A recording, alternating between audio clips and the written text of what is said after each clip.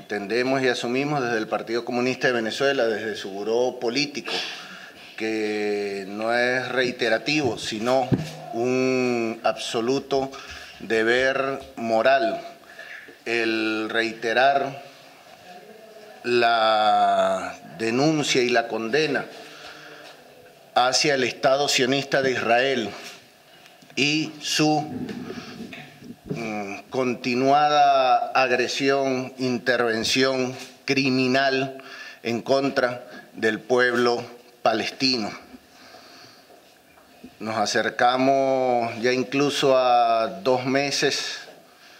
continuados, miles y miles de víctimas inocentes que es absolutamente injustificable que continúe esta agresión, que continúen estas acciones en contra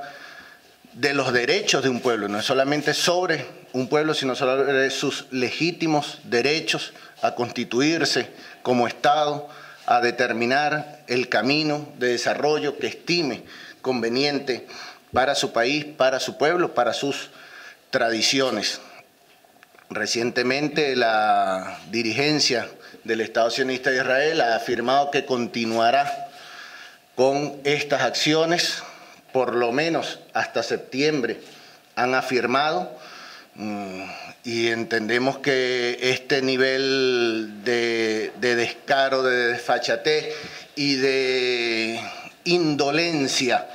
tiene que ver con las propias características, la propia naturaleza de este Estado sionista, de sus dirigentes, de sus intereses y por supuesto de sus aliados internacionales, en particular del imperialismo norteamericano, que ha estado sistemáticamente impidiendo, saboteando, torpeando diversas iniciativas que en organismos internacionales se procuran impulsar para condenar esta agresión contra el pueblo palestino. Pero indudablemente los pueblos del mundo, muchos gobiernos, entre ellos por supuesto el venezolano, con dignidad, con solidaridad, se siguen pronunciando y se siguen movilizando en acciones concretas de apoyo y de solidaridad con el pueblo palestino, acciones que indudablemente deben continuar conjuntamente con los señalamientos y la denuncia